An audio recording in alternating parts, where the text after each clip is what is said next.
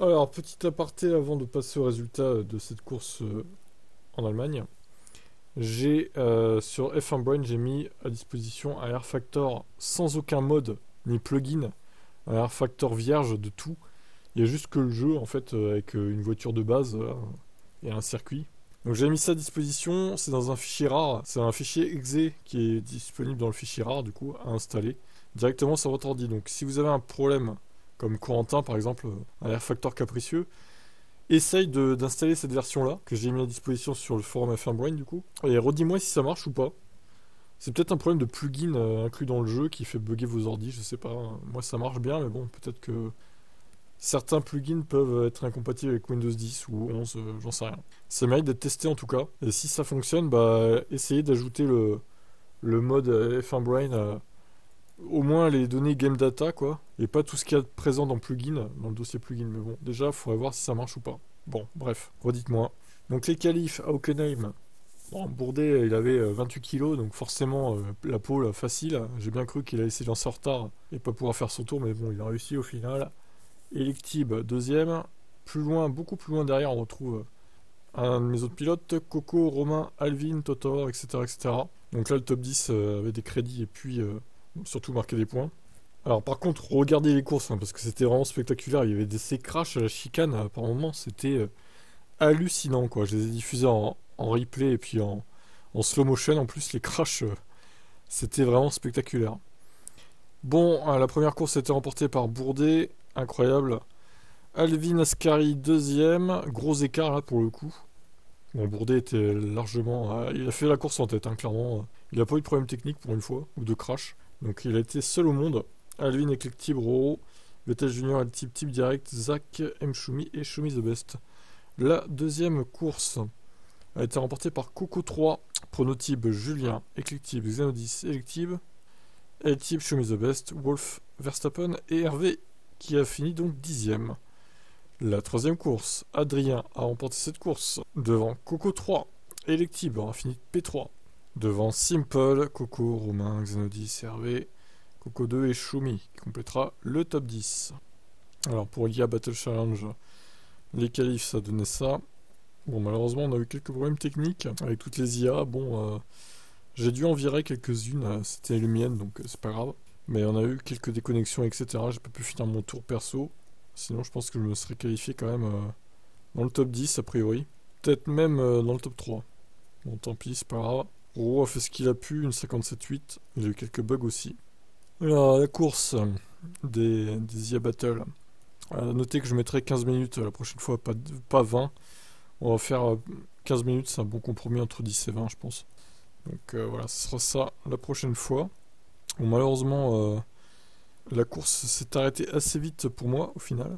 Bon, j'avais pas paramétré la marche arrière, donc évidemment, quand on se fait pousser, bah on peut pas reculer, c'est un peu gênant quoi. maintenant je les paramétrerai, ça n'arrivera plus. Il faudra aussi que je mette les dégâts à 100% la prochaine fois parce que là les IA étaient quasiment indestructibles. Coup dur. Alors classement IA Battle, du coup le top 10 gagne des crédits, c'est 20, 18, 16, 14 jusqu'au 10ème du coup. Et euh, le top 25 euh, gagne des crédits aussi, c'est 50, 48, 46, 44, puis jusqu'au dernier quoi, tout simplement. Ça vous fera des crédits en plus si vous pouvez pas euh, prendre à la banque, même si évidemment euh, le but premier reste de prendre à la banque. Hein. On va dire que c'est un complément quoi.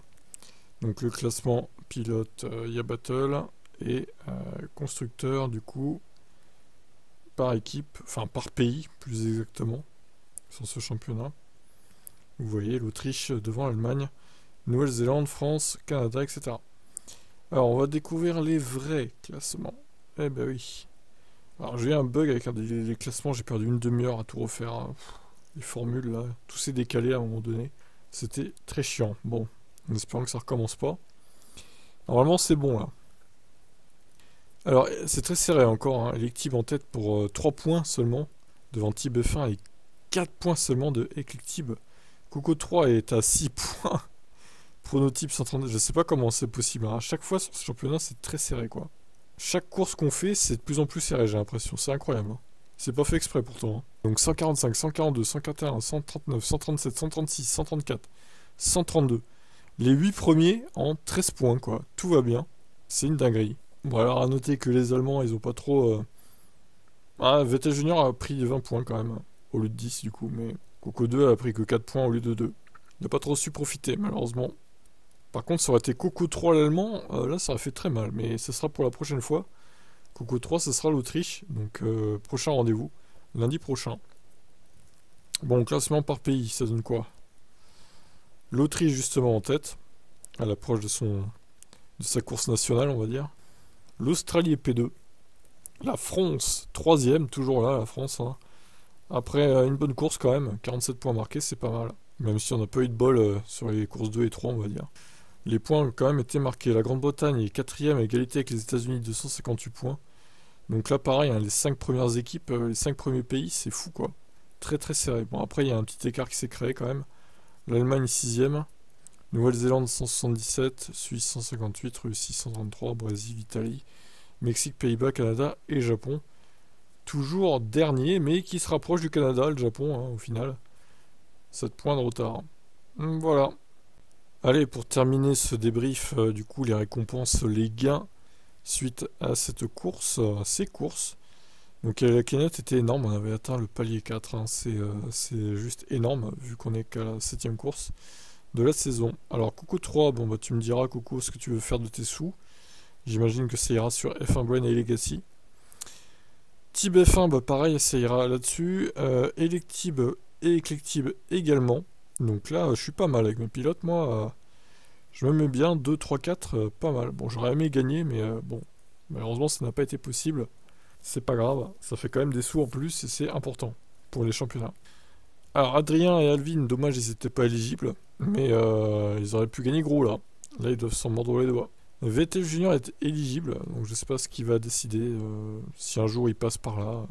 Sinon, bah, ses crédits seront mis en jeu, hein, tant pis pour lui. Et Eltib prendra les doubles points des pronos. Pensez à, à pronostiquer d'ailleurs, hein, ça commence vendredi, hein, les pronostics hein, de la vraie F1. Je rappelle qu'il y aura deux pronostics par week-end hors sprint, qualif et course. Sinon, bah, il y en aura quatre par week-end lors d'un week-end sprint. Bon, bref.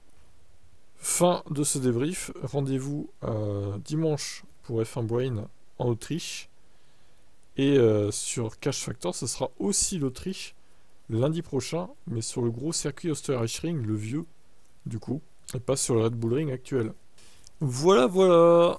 Et euh, du coup, je rappelle, hein, le Air Factor euh, sans mode ni plugin, euh, dispo sur le site F1 Brain. Dites-moi ce que ça donne. et J'espère que ça va marcher pour vous. Qu'on soit nombreux sur le serveur. Allez, ciao.